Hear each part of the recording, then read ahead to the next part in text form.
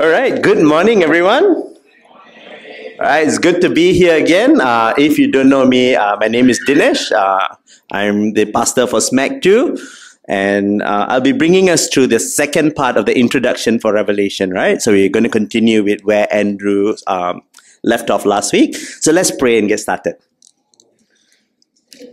Heavenly Father,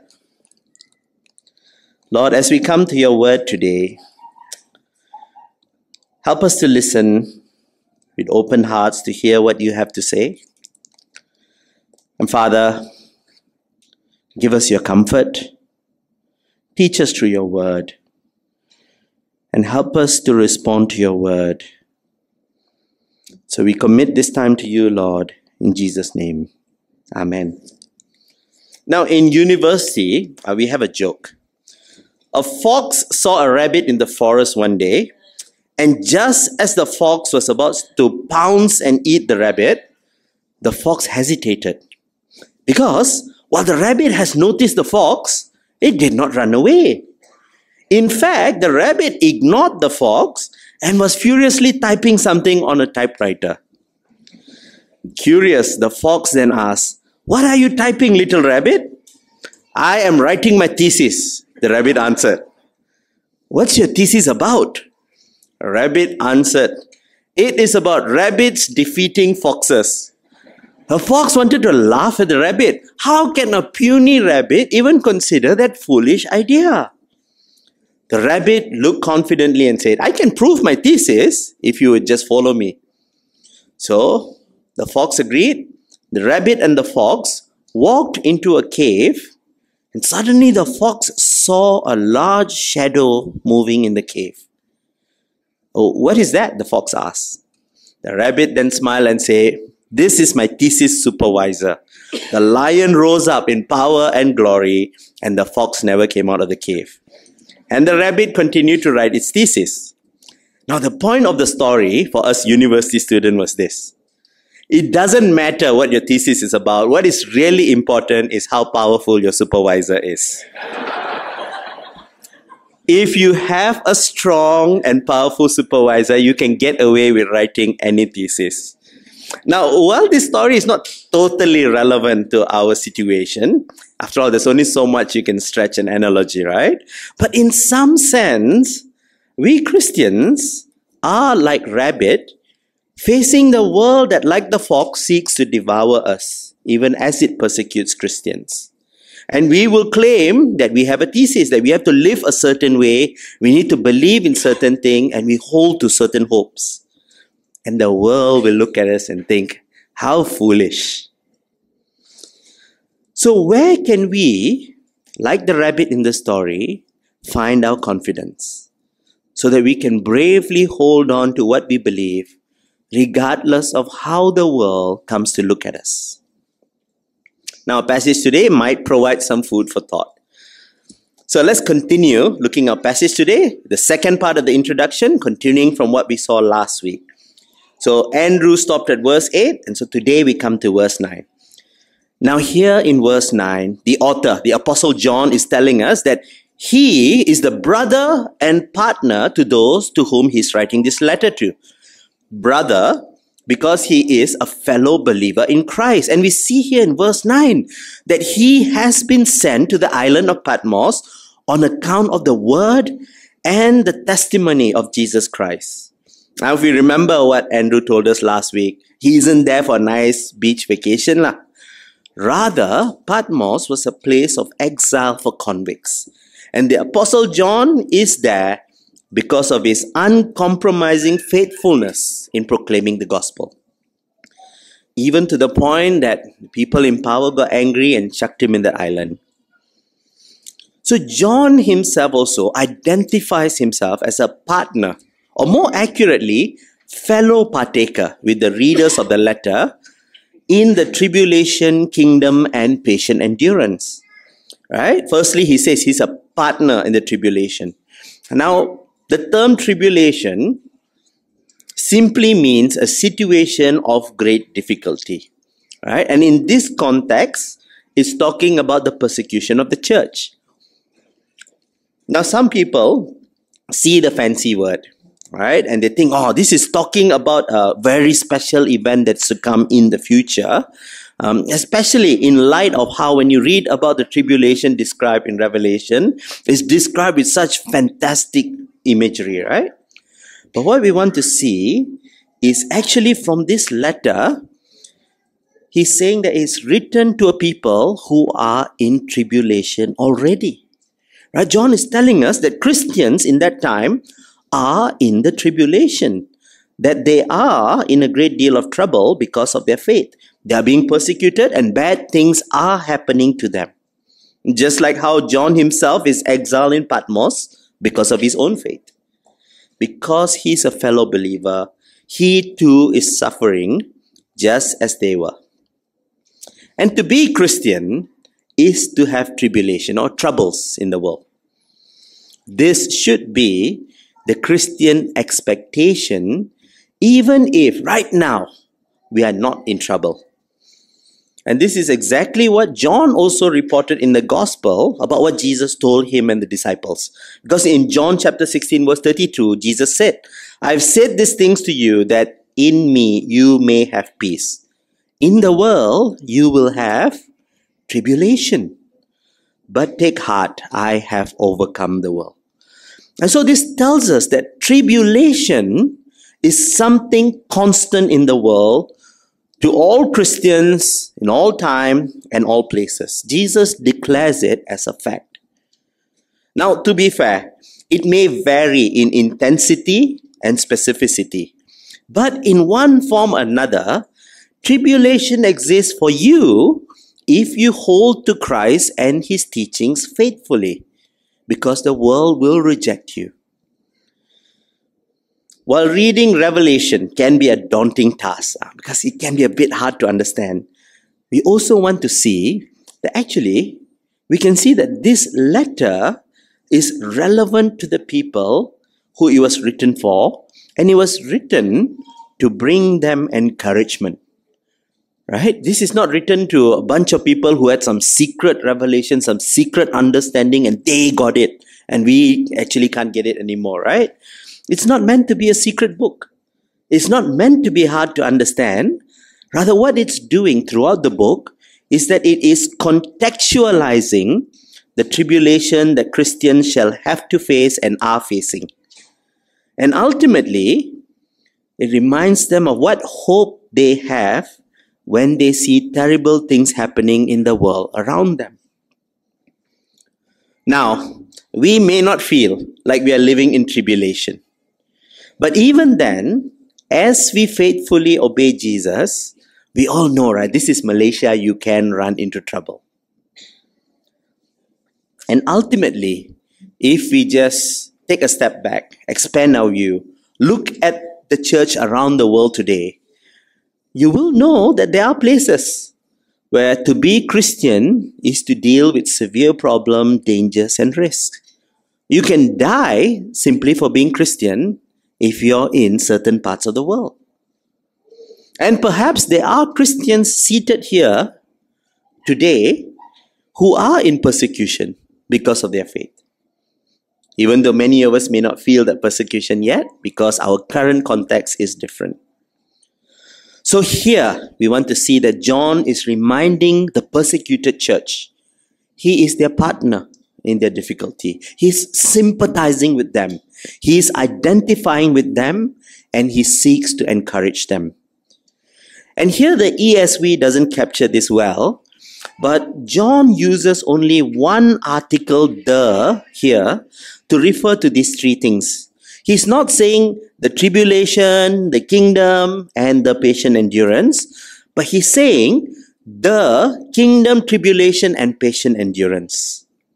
Right? It's a small distinction, but the implication is that he's actually linking all these three together into one unit. There is a connection between them instead of them being three separate things. So those who are patiently enduring the tribulation that Christians are facing, they are holding firm because they belong to the kingdom. And they belong to this kingdom because they trust in Jesus. So that's the secret here to this letter. John is writing this because he does not want them to be discouraged because of the persecution that they are going through. Because as they endure the tribulation, then they have the assurance that they truly belong to the kingdom because they are showing patient endurance in Jesus. In other words, they are living for Christ and trusting in his promises even when the world has seemed to gone mad. And that is the true mark of a Christian. Now we continue looking at verse 10 to 11. And we see that as John was in the Spirit when he received this vision, he was commanded by a loud and powerful voice to write to the seven churches in Asia. This seems to be a specific letter written to a people in specific circumstances. Uh, it's possible that we may think it hold no real relevance to us, but if we remember what Andrew said last week about how numbers are used to represent things or ideas, then we want to see, right, that the number seven is used throughout the Old Testament to portray this idea of completeness, of wholeness. And so the fact that the number seven is used here implies that this letter is actually meant to the completed church right? Symbolically represented by seven churches. And so if it's meant to the completed church, then this book is meant for all Christians from all ages.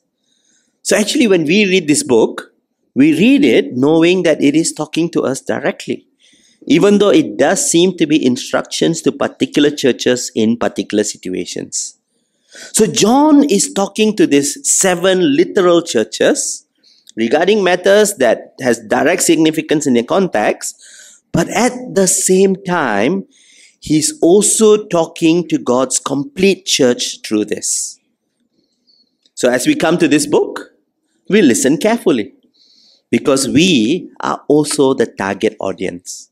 Uh, which is not to say you don't listen carefully if you read the other books, lah, but there's something particularly written to you Next, we come to verse 12. And then we see the vision described to us. John sees seven lampstands. Now, fortunately, understanding the meaning of the seven lampstands in this vision is very easy because verse 20 tells us is the seven churches represented symbolically in the vision. And we get this from the Old Testament imagery of the temple menorah, right? That is that one lampstand with seven candles. But here, we are seeing a larger, a more full imagery. It's kind of like if that menorah was meant to be a compressed icon to represent, you double click it, it expands, and you see seven lampstands right? You see seven candles, seven lampstands. And so we see here that it's not talking about seven literal churches. And again, it's the same idea. Taking in the pattern of that seven is talking about the fullness of the church. So therefore, we know that John is being asked here to write to the one holy, apostolic, and Catholic church that transcends space and time. And that's why we know this letter is for us as well. We are recipients. And then John turns and he sees the owner of the great voice and he sees one like a son of man who stands in the midst of the seven lampstand. And we see in this description of this man that he has a long robe, golden sash, white robe, eyes like fire, feet like burnished bronze, voice like the roar of many waters, like the sound of a trumpet. And what's the point of this? Each description here is actually laden with Old Testament reference to help us understand and truly comprehend this who is this person. So when we see visions right, in the Bible, it often talks using the categories of the past to help us understand what we are seeing. So from the vision of Daniel, we see the one like the Son of Man who descends to approach God and receives all power and authority. And here he is like that Son of Man. In Daniel's vision, it is God Himself who shone with white hair, And that signifies his wisdom. From Isaiah, we get this picture of God's majesty, which is shown by describing that the, the end of his robe, his long flowing robe, the train, just the tip of it is enough to fill the entire temple. Right? And it shows how awesome God is. And here we see the speakers described as wearing a long robe. So you can see that so far it's mirroring the majesty and power of God. Then his eyes are like fire right? Now, a bit harder to explain, but what it implies here is that he sees with clarity and righteousness. It's about um, moral right, seeing things the way they are, and the eyes is on fire, right? And so there's that that righteousness, uh, that picture of judgment, that eye that will not be deceived but will judge. So he sees truly with a zeal for righteousness. So we cannot hide from this speaker. We cannot deceive him. He knows. You know from Exodus, the high priest wears a linen sash, and our speaker here wears a sash too, but his is more majestic. He's a golden sash. And he speaks with a powerful and fearful voice like a trumpet, exactly like how God is described speaking to his people at Mount Sinai, where they heard it and they could not endure it. So as we read, we continue to find out more about him. As this speaker is continued, uh, continued to be described in verse 16. And we see then he's holding seven stars in his hands. And later in verse 20, thank you, verse 20 is explained to be the angel of the seven churches, right? Now at this point we have to pause to wonder, right? And I don't know if you have the answer, but how do you write and deliver messages to angels? Have you thought about that? Now, one possible solution is to see that the term angel here originates from a word that simply translates as messenger. Right? And therefore, it can mean heavenly angels, right? That type with many eyes that you see, you want to ping and say, fear not, right? It can mean that angel. Or actually, it can refer to a person who comes bearing the message of God, he's a messenger from God, right? That's messenger.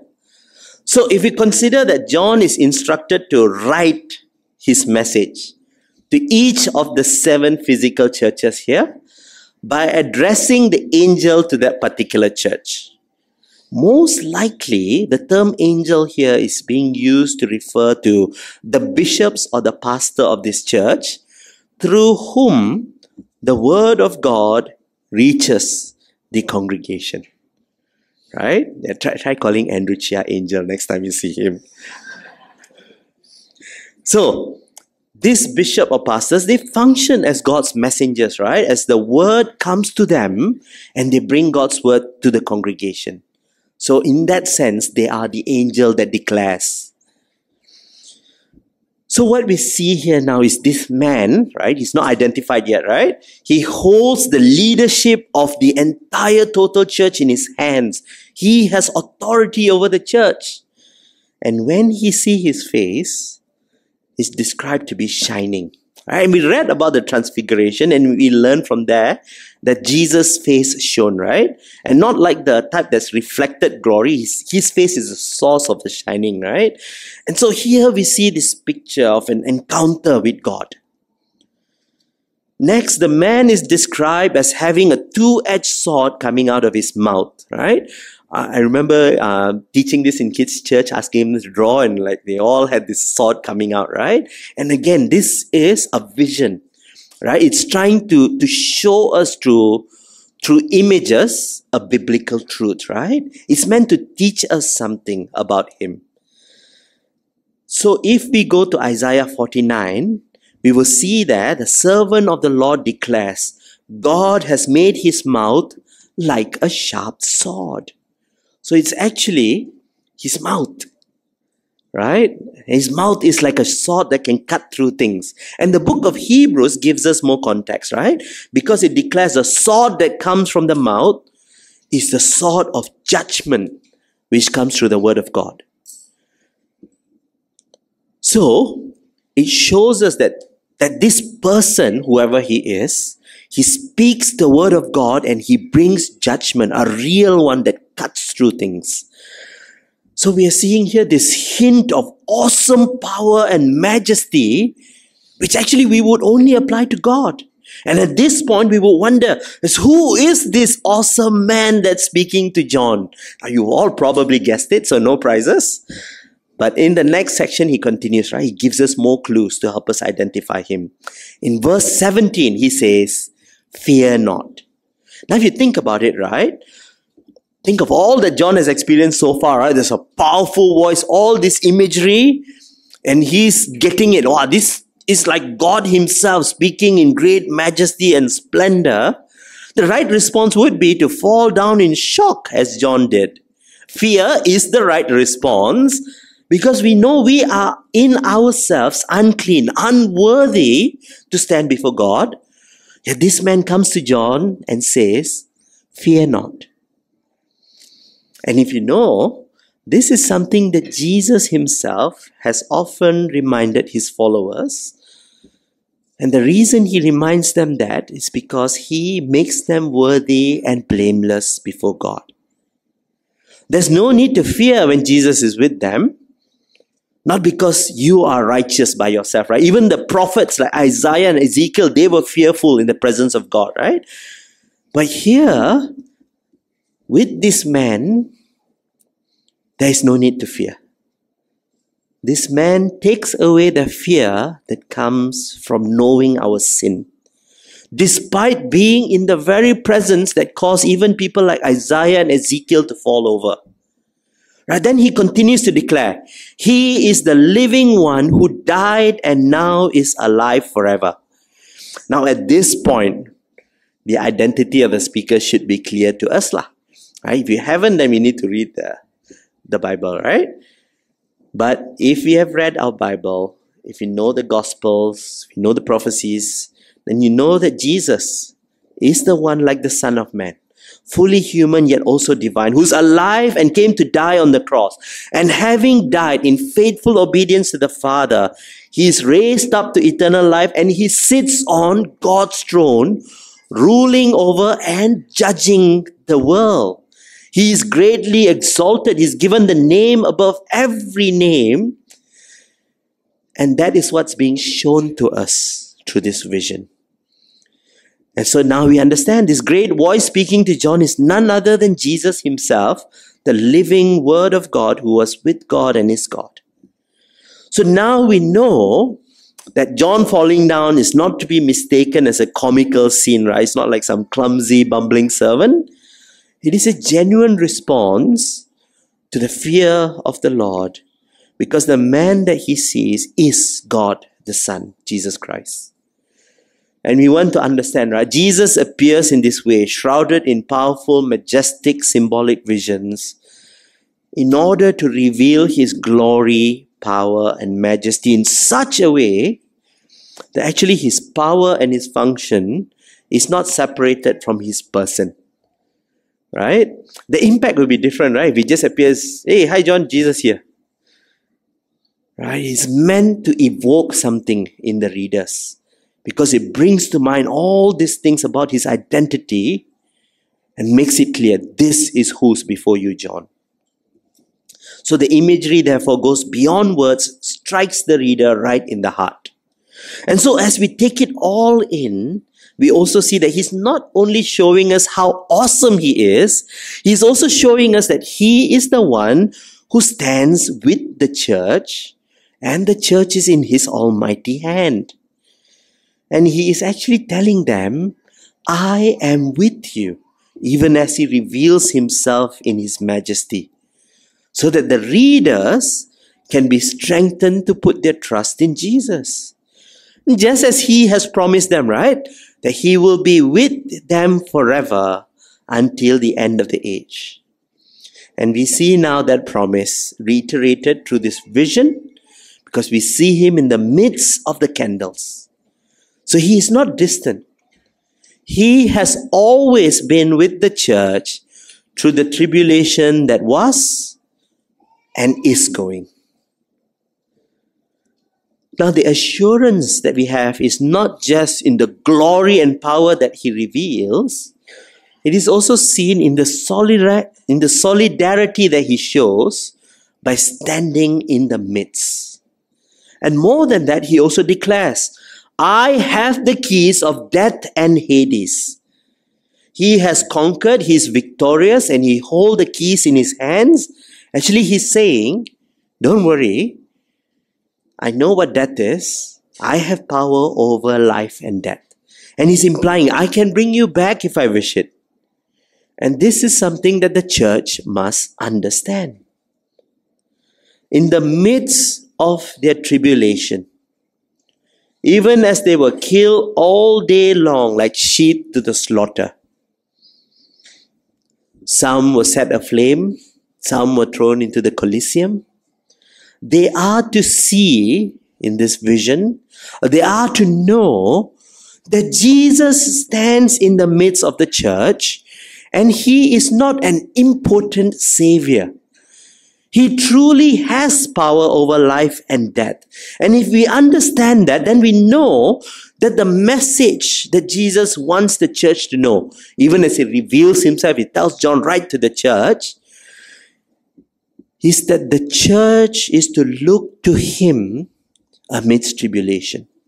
And so if we understand this, we also understand that the function of all the unveiling in this book, as we continue to read the rest of Revelation, all those terrible pictures of judgment and grace and proclamations of victory, everything here is for the sake of the church. It's here so that the church may be strengthened to persevere through tribulation.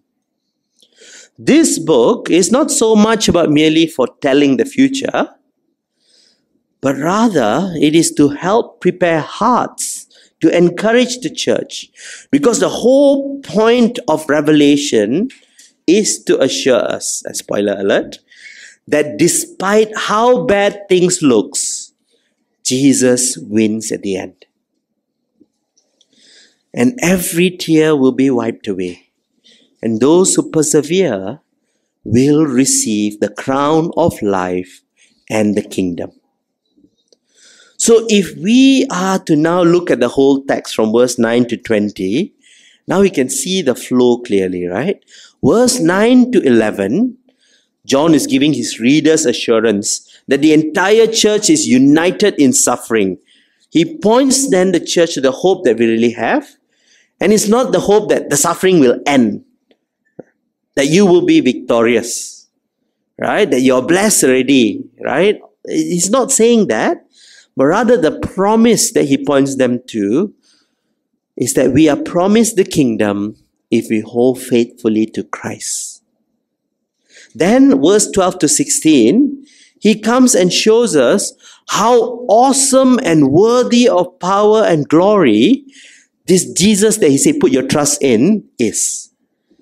So that we are to know, all right, if I put my trust in him, John is showing that he is worthy, he is capable of fulfilling his word.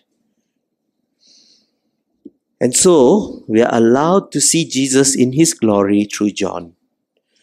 So that we know that as our eyes are fixed on him, then our fears and anxieties and worries are cast away.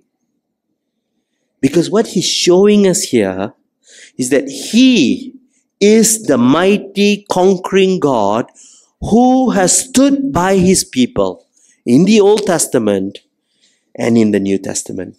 And so that's why the vision hinges on the usage of Old Testament categories, which is then applied to Jesus who comes in the New Testament so that we know that his promises of the old is still true, that he is forever, he is faithful to us.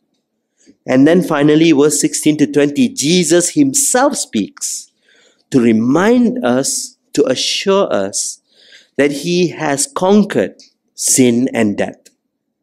And because he is with us, then we have hope regardless of how much struggles, suffering, pain, and difficulty we are going through.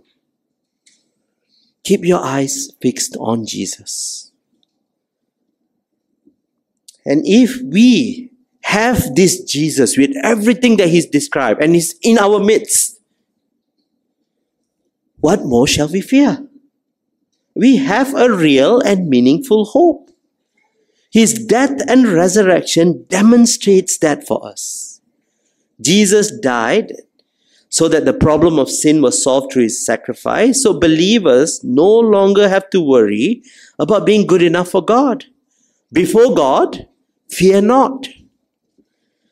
Jesus has done what is needed to be done. So we can be forgiven, be at peace with God. And we also know that Jesus rose from the dead to show us that actually death is not the end. Right? So imagine we are not in that situation, but imagine that we're all gathering here in fear because we read the newspaper. They say, you know, that some people want to bomb Christian churches. Right? And we're faithfully here, trusting in God's word. And in the midst here, you see this man, like, oh, see with the corner of your eye, uh, wow, eyes like fire, long flowing robe. I think that's Jesus. Lah. Actually, will we be afraid? And that's what he's telling us. You might not see him here physically, but he is with us.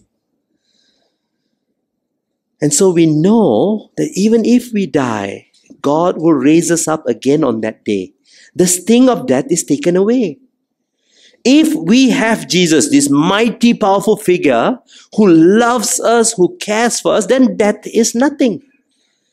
Just like the story of the rabbit, the fox, and the lion, we have the lion of Judah, mighty in power, awesome in splendor, standing beside us as our strength. And truly, we can say, Where is your sting, O death? We can look to the accuser and ask, Where is your condemnation, sinner, sinner? They are conquered by the lion who is Christ. And we learn today that this lion of Judah, who have conquered the ultimate enemy, sin and death, now he gives us assurance. Whole firm, look to him. Even if the whole world is against us. And so, are we doing that? Are we fearful of being faithful to Christ? Because we are afraid of the world. And if we do, we are not seeing Him. Finally, then, the passage helps us to remember that we want to read Revelation in the spirit that it was given to the church. It's meant to be an encouragement that Jesus is with us, Jesus is for us, church is in His hand, and it is meant to help us hold firm through persecution. So even if in the weeks to come, we're going to read things that seem so scary. There's the dragon, there's the beast, there's this, you know, bowls of judgment. And like, you read it also, you're like, wow, this is going to happen. I don't want to be alive when this happens, right? Well, remember, it's not written to scare you. Jesus told John to write these things for a purpose. And actually, the purpose is to help us find encouragement in the knowledge that the world is in his hand. He is the one that's decreeing all these things shall happen. He is the one behind all that happens. And he is for you. Let us pray. Heavenly Father, we give you thanks for your word. And we pray, Father, that, uh, that you will help us to be prepared for any tribulation that comes our way. That you will help us to love our brothers and sisters in tribulation, just as how John showed solidarity with the church. And help us, Father, to see Christ in his fullness standing in the midst of the church. Let us know, Father, that he stands with us that He is for us. And through that, Father, we pray that you will remove all fear that we may have of the world, of the difficulty, of the suffering that comes when we hold faithfully to you. So help us, Father, to see that most important, we are to persevere in Christ so that we may then receive the kingdom, the crown of eternal life. In Jesus' name we pray. Amen.